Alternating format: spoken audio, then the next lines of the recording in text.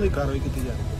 ਦੇਖੋ, ਜਿਹੜੇ ਪੰਜਾਬ ਸਰਕਾਰ ਦੀ ਇੱਕ ਮੁਹਿੰਮ ਚੱਲ ਰਹੀ ਹੈ, ਜਿਹਦੇ ਵਿੱਚ ਨਾਰਕੋਟਿਕਸ ਦੇ ਉੱਪਰ ਪੂਰਾ ਜਿਹੜਾ ਸ਼ਿਕੰਜਾ ਅਸੀਂ ਕੱਸ ਰਹੇ ਹਾਂ ਫਾਜ਼ਿਲਕਾ ਪੁਲਿਸ ਵੱਲੋਂ ਤੇ ਇੱਕ ਮੁਲਜ਼ਮ ਹੈਗਾ ਜਿਹਦਾ ਨਾਮ ਹੈ ਰਾਜਕੁਮਾਰ, ਰਾਜਪਾਲ ਹੈਗਾ ਏਲੀਸ ਵਿੱਕੀ ਹੈਗਾ।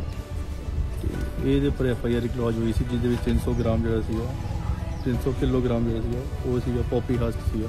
ਤੇ ਐਫ ਆਈ ਆਰ ਨੰਬਰ ਜਿਹੜੀ ਕਿ 101 17 6 2021 ਦੀ ਬੈਰੋਗੇ ਥਾਣੇ ਦੇ ਵਿੱਚ ਜਮ੍ਹਾਂ ਹੋਈ ਸੀਗੀ।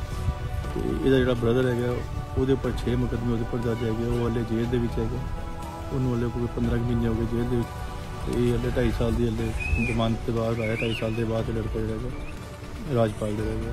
ਤੇ ਇਹਦੀ ਜਿਹੜੀ ਸਾਰੀ ਪ੍ਰਾਪਰਟੀ ਸੀਗੀ, ਜਿਹਦੇ ਵਿੱਚ ਕਿ 54.4 ਮਤਲਬ ਜਿਹੜਾ ਹੈਗਾ, ਮਕਾਨ ਹੈਗਾ, ਇਹ ਸਾਰੀ ਇਹਨੇ ਲੈਂਡ ਲਿੱਤੀ ਹੈ ਵੀ ਪੰਜ ਜਿਹੜੇ ਹੈਗੇ ਨੇ ਅਲੱਗ-ਅਲੱਗ ਪ੍ਰਾਪਰਟੀਆਂ ਲਿੱਤੀਆਂ 17 ਲੱਖ 73000 ਦੀ ਇੱਕ ਹੈਗੀ ਹੈ 80000 ਦੀ ਇੱਕ ਹੈਗੀ 16 ਲੱਖ 70000 ਦੀ ਇੱਕ ਹੈਗੀ ਹੈ, 19 19 ਲੱਖ ਦੀ ਇੱਕ ਹੈਗੀ ਹੈ, ਤੇ 70000 ਦੀ ਇੱਕ ਹੈਗੀ ਹੈ। ਤਕਰੀਬਨ ਜਿਹੜਾ ਸਾਰਾ ਮਿਲ ਜਾਂਦਾ ਹੈਗਾ 55 ਲੱਖ ਤੇ 56 ਸੌ ਰੁਪਏ ਜਿਹੜੇ ਉਹ ਇਹਦੀ ਸਾਰੀ ਪ੍ਰਾਪਰਟੀ ਹੈ। ਇਹ ਕੰਸਰਨ ਜਿਹੜੇ ਸਾਰੇ ਡਾਕੂਮੈਂਟ ਜਿਹੜੇ ਸੀਗੇ ਉਹ ਐਸਐਚਓ ਜਿਹੜੇ ਵੈਰੀਫਾਈ ਨੇ ਉਹਨਾਂ ਨੇ ਫਿਰ ਦਿੱਲੀ ਜਿਹੜੇ ਹੈਗੇ ਉੱਥੇ ਭੇਜੇ ਸੀਗੇ। ਤੇ ਇਹਨਾਂ ਦੀ ਜਿਹੜੀ ਪ੍ਰਾਪਰਟੀ ਹੈ ਫਰੀਜ਼ ਕੀਤੀ ਗਈ ਜਿਹੜੀ ਸਾਰੇ ਜਿਹੜੇ ਪੰਜ ਜਿਹੜੀ ਇਹਨਾਂ ਦੀ ਜਿਹੜੀ ਪ੍ਰਾਪਰਟੀ ਸੀ ਇਸ ਸੰਬੰਧ ਅਸੀਂ ਇੱਥੇ ਇਹਨਾਂ ਨੂੰ ਪੋਸਟ ਵਗੈਰਾ ਲਗਾਉਣ ਆਏ ਸੀ ਤੇ ਇਹਨਾਂ ਨੂੰ ਦੱਸਿਆ ਗਿਆ ਵੀ ਤੁਹਾਡੀ ਜਿਹੜੀ ਪ੍ਰਾਪਰਟੀ ਫਰੀਜ਼ ਹੈ ਤੁਸੀਂ ਨਾ ਇਹਨੂੰ ਵੇਚ ਸਕਦੇ ਹੋ ਤੇ ਨਾ ਹੀ ਤੁਸੀਂ ਇਹਨੂੰ ਅੱਗੇ ਇਹਨੂੰ ਕੋਈ ਡਿਵੈਲਪ ਕਰ ਸਕਦੇ ਹੋ।